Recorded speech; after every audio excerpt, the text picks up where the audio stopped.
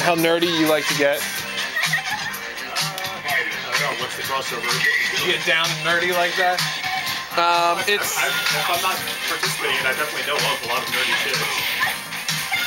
Brian likes to get down with that nerdy shit. That's what he's saying. I do like that nerdy shit. Um, it's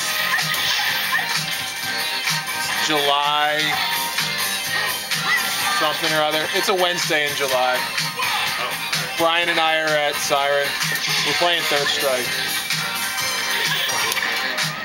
Stay tuned for more breaking news. how good is your campaign, by the way? What? How good is your campaign, by the way? I mean, good. Uh, you know, I've been really busy with it, like in terms of the past couple days working on it, doing prep work and That's a lot of writing stuff and doing illustrations and Oh, stuff like that. What sort of illustration are you doing? Uh, Landscape, you can you can ask me about it later. All right, all right. I'll do that